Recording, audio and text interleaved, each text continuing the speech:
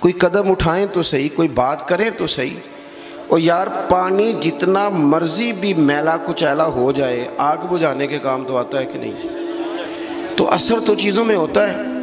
तो चिड़िया ने अपनी चूँच में, बाकी तो ना साथ चली तो उसने अपनी चूंच में पानी के चंद कतरे भरे, जितने आ सकते थे, और ला के हज़रत इब्राहीम के लिए जो आग जलाई गई थी, उसके करीब छोड़े, उधर से रब का हुक्म आ गया। आग मेरे इब्राहिम पे ठंडी हो जा।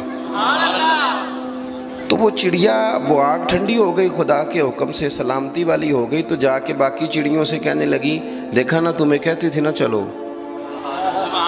वो कतरा तो एक ही था, पर हुक्म तो रब का ही आना था ना। तुम्हें कहा था ना, चलो, अगर तुम मेरे साथ चलती तो हो सकता है, सैलाब भी आ जाता और हज़रत इब्राहिम के सारे दुश्मनों को बहा के भी ले जाता। एक तो सबसे पहले अपनी अहमियत को समझें। आप महसूस करें कि हम मुसलमान हैं। मुसलमान जो होता है ना, उसके साथ खुदाई ताकत होती है। नबी पाक सल्लल्लाहु अलैहि वसल्लम ने फरमाया, दुआ मोमिन का हथियार है। उसके साथ जो खुदाई ताकतें हैं, वो काफिर मुशरक के साथ नहीं।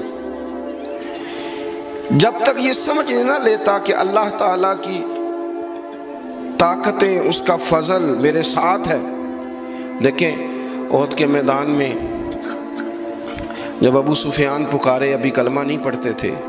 वो पुकारे उन्होंने कहा कि किधर हैं फ़लाँ बिन फ़लाँ फ़लाँ बिन फ़लाँ किधर हैं? देखो तुम्हारे कितने लोग हमने शहीद कर दिए तो हुजूर ने सहाबा से कहा इसे कहो कि तुम तो किसी मौला को मानते नहीं और हम कोई लवारस तो नहीं हमारा तो रब रसूल है। इनसे कहो हमारे जो चले गए वो शहीद हैं जो बच गए वो गाजी हैं। मुसलमान ये पहचाने। और जब पहचान ले अच्छे तरीके से कि मैं मोमिन हूँ, देखे ना, हमने सारी ज़िंदगी जट बन के, बट बन के, राई बन के गुजार दी। कुछ चाहिए ना कि ज़िंदगी की, कुछ चार साल मुसलमान बन के भी गुजारे। इकबाल कहने लगे, यूँ तो सैयद भी हो, मिर्ज़ा भी हो, अफ़गान भी हो। दिल कभी करता है कि इकबाल से पूछूँ, आपने सबसे पहले सैयद का ही नाम ले दिया है। यूँ तो सैयद भी हो, मिर्ज़ा भी हो, अफ़गान भी हो। और तुम सभी कुछ हो बताओ कि मुसलमान भी हो।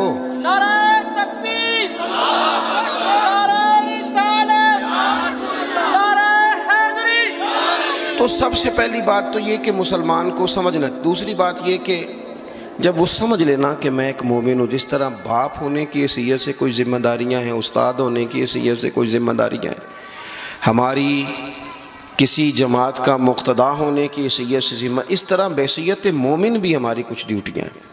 अल्लाह ताला ने कुरान मजीद में फरमाया, वल असर, महबूब आपके ज़माने पाक की कसम हो। इन्नल इंसान लफ़ी खुसर, बेशक इंसान नुकसान में, खसारे में, सब इंसान नुकसान में, इल्लल्लज़ीना, सिवाय उन लोगों के।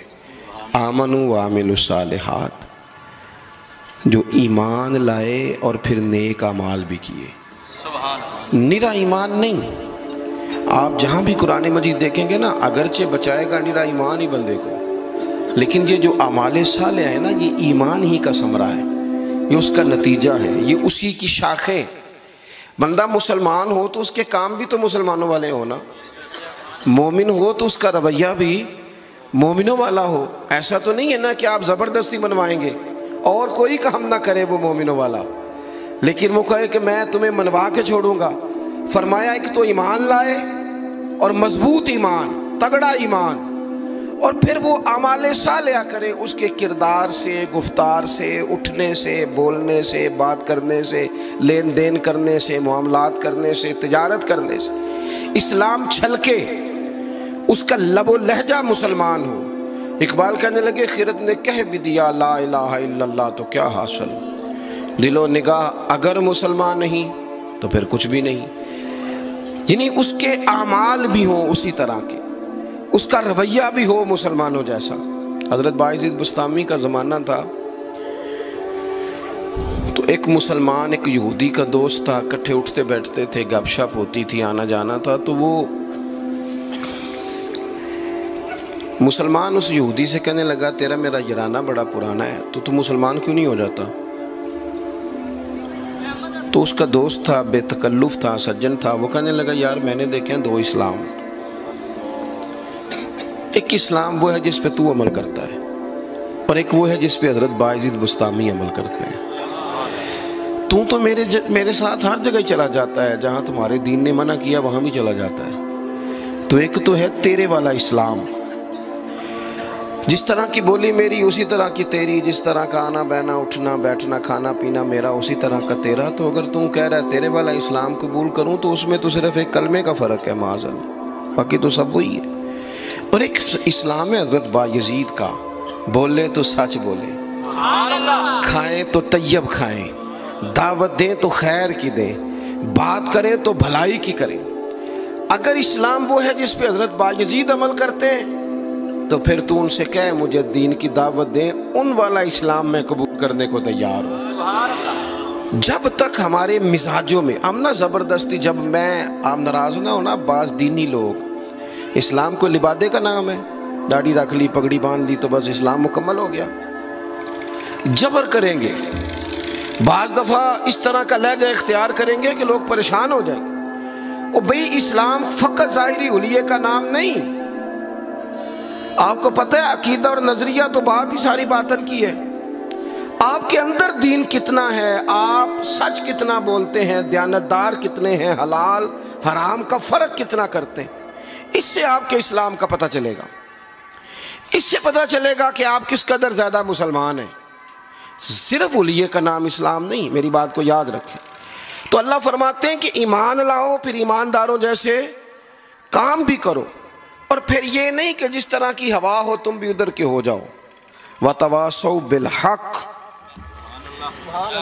तुम्हारा ईमान भी हो अमाल भी हो, और तुम्हें हक भी कहना आता हो।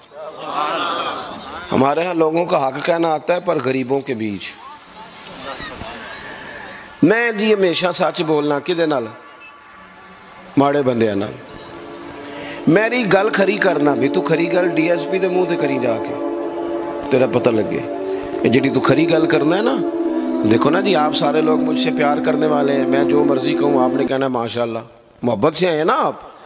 मज़ा तो तब है कि ईवान इकतदार में आप जाएँ। वहाँ आप सच बात करें। बहुत सारे लोग सच बोलते हैं दूसरों के बारे में। हालाँकि सबसे ज़्यादा सच अपने बारे में बोलना चाहिए। लोगों के ऐप छुपाने का हुक्म है, वो दुनिया बयान करती है।